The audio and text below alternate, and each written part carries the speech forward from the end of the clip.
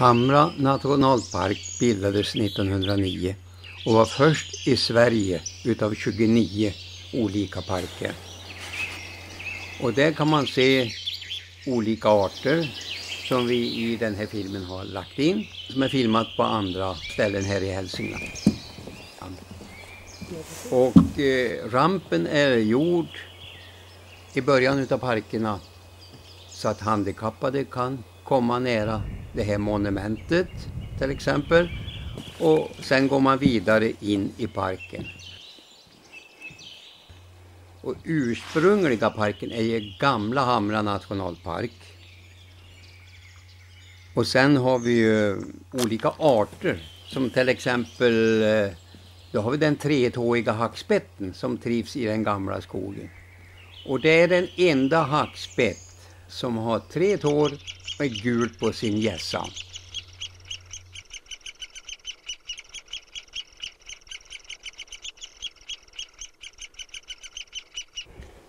Det är mycket gammal skog här och där trivs ju tjädern och spelar tider på våren. Han har ett helt harem utav sina hönor och det är endast en tupp som får para sig med alla dessa hönor.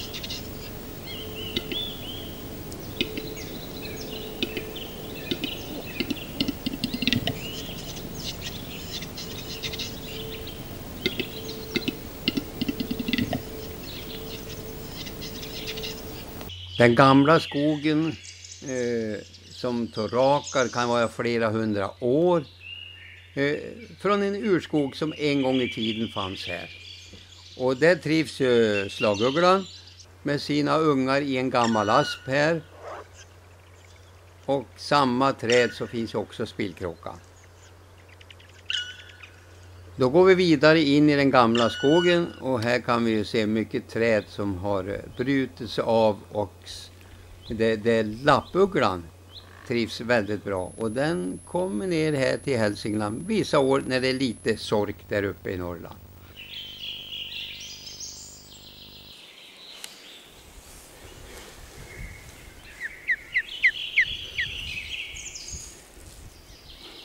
Fiskljusen väljer med förkärlek de gamla furorna för att ha sitt bo längst upp på toppen. Hans breda vingar och byten som en gädda kan ta i kvistarna om han bygger sitt bo längre ner i den gamla tallen.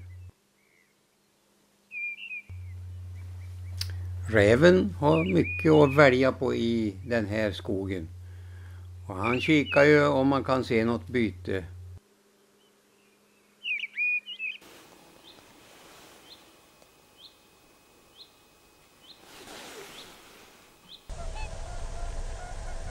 Sångsvanen har ju sin raka hals i motsats till knölsvanen som har sin böjda hals.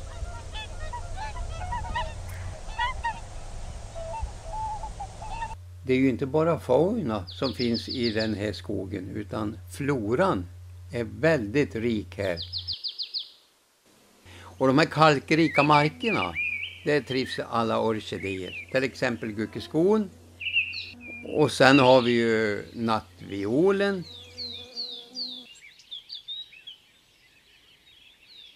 Humlebaggen får representera en av de cirka 4400 arter som finns i Sverige.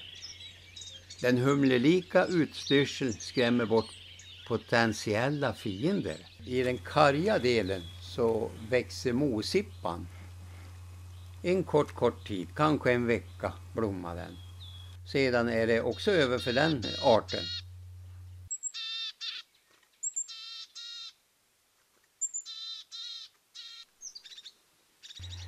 Och vi har ju de här nycklarna och mycket orkidéer som trivs i just den gamla marken här.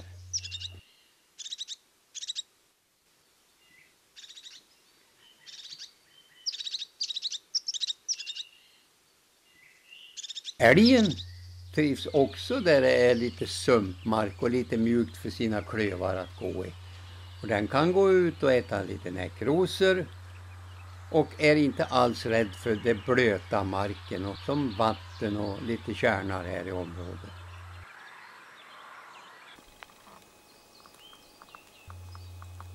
Gamla skogen den eh, trivs ju också sparvugglan som tycker om de ihåliga träden. Här har jag varit och filmat in i själva granen och följt med en ringmärkare som tog bort en lucka. Och där sitter mamman utanför och funderar vad vi håller på med. Och hon har två utav sina kanske åtta, nio ungar som har hoppat ur boet. Och sitter där och vrider på huvudet. Och de ser ju en fågel och det är en göktytas unge som har hoppat ut. Och den kamouflerar sig väldigt bra med omgivningen.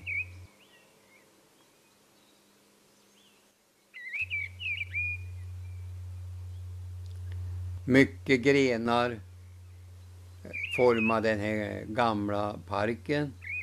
Och det är ju typiskt för tjädern att den tycker om att lägga sina ägg där och kläcka fram sina nio ungar. En tjäderhöna som ligger under en toraka här. Och de vill gärna vara nära mamman. De lämnar ju sitt bo efter några timmar och följer mamman i den, ja man kan säga okända skogen. Gärdsmygen, den har ju nytta av de här gamla rotvältorna som stormen och starka vindarna en gång har fällt de här träden. Och det gynnar ju den gamla skogen att det får ligga kvar.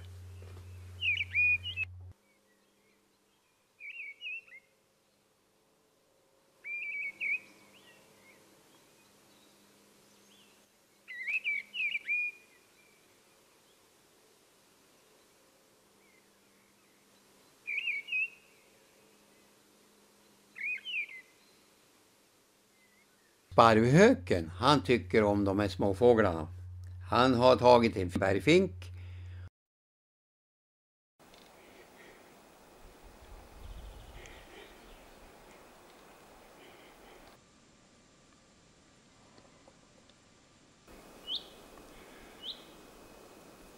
Mossan har växt över de gamla furorna här i skogen.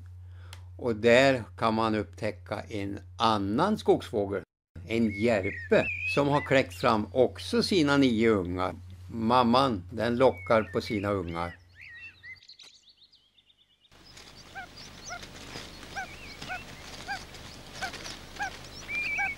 Och efter några timmar så, när de har torkat så lämnar de också boet. Mycket att upptäcka på myren.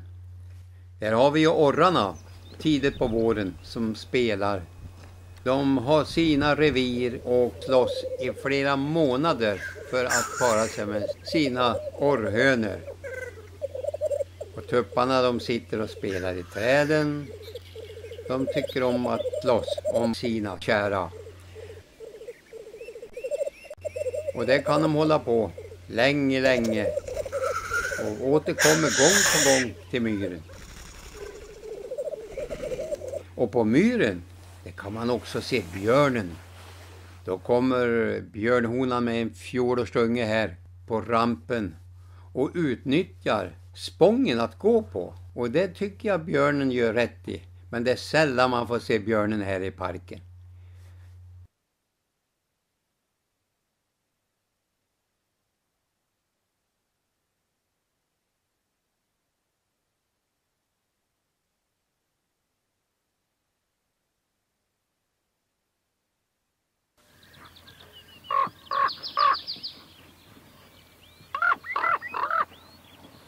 På myrentrén kan man ju se mycket av de här fåglarna som trivs på sumpmarker, myrmarker som tranan med sina häckningar och, och sina ungar och går från sin boplats kanske en vecka fram till myrkanten och där kan de hitta mycket sländer och, och larver, insekter åt sina daggamla ungar.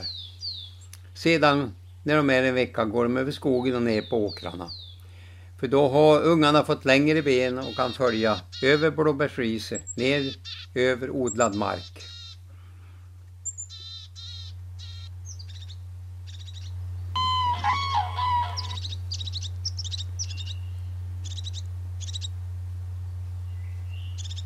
Tranan kan man höra tidigt på våren.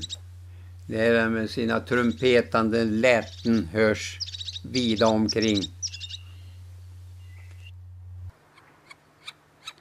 Spillkråkan eh, tycker om att bo i de här ihåliga furorna som har bildats under århundraden.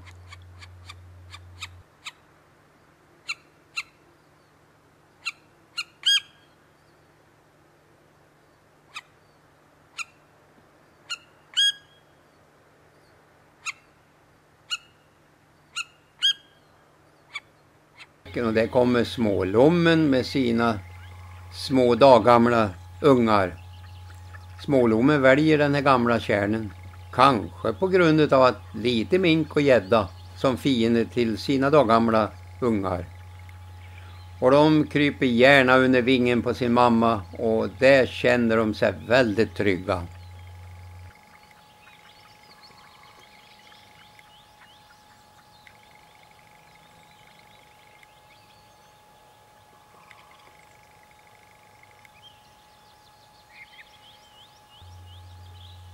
Vi lämnar smålommen kärl. Är man i rätt tid på sommaren då kan man få se de här härliga hjortronen och smaka lite grann. Sileshår är en köttätande växt som livnär sig på insekter.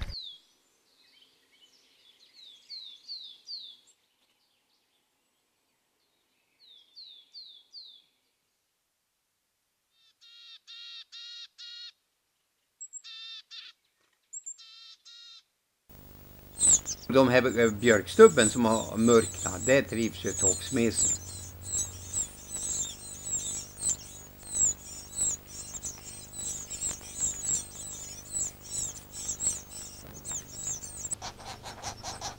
Gråspetten trivs väldigt bra i de här gamla asparna och han har samlat mycket larver och insekter och stöter upp till sina ungar.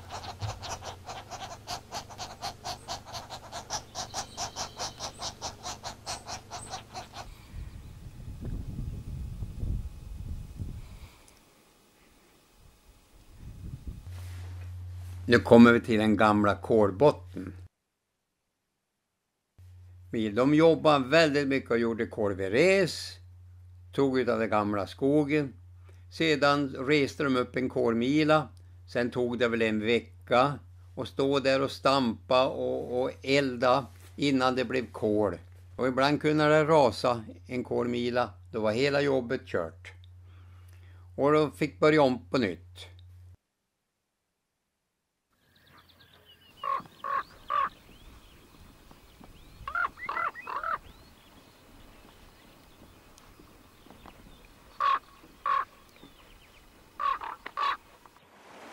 Nästa ingång kallas Svartår.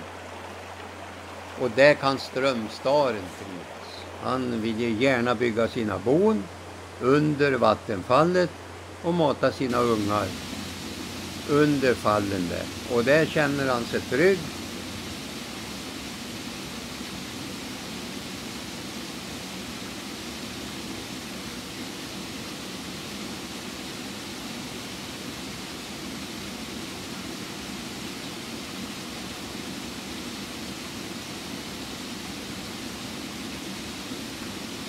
Älugglan, den trivs i den gamla tallen. Och där bryr han sig inte mycket i att det finns mycket myror som klättrar ikring. Utan eh, de har så tjocka dun så att de klarar sig väldigt fint. Och nyfiken om det är någonting som rörs utanför. Och då ser han en rödvingetrast med sina ungar. Men han tycker nog mest om lite sork och möss. Så han bryr sig inte ett dugg om den här rödvingetrasten som ligger i bo nedanför.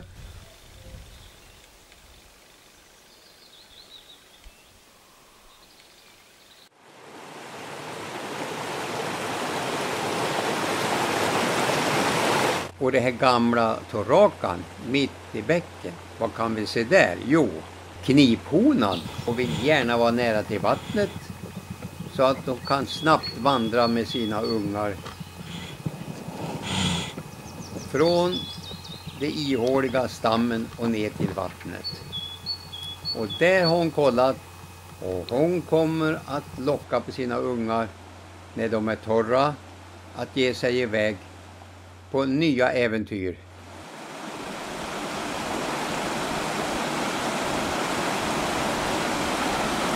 Urbergsbassängen finns vid gångbron här vid Svartån och det är en bassäng som istiden har gröpt ut ur berget.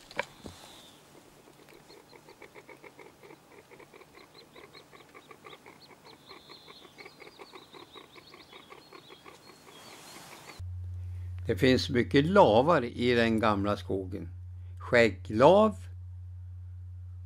och korpen trivs ju väldigt bra i eh, där det är mycket lavar och, och picka i. Och, han letar sina insekter kan man tänka sig här under barken. Och så har vi den här sällsynta långskägg som den här laven heter.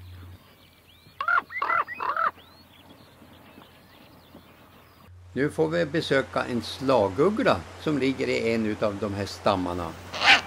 Där känner hon sig väldigt trygg.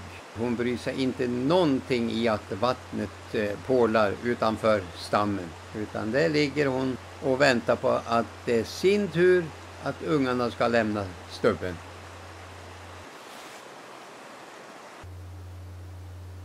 Lärkfalken trivs gärna i områdena här där det är ostörda marker och kan jaga sina sländer.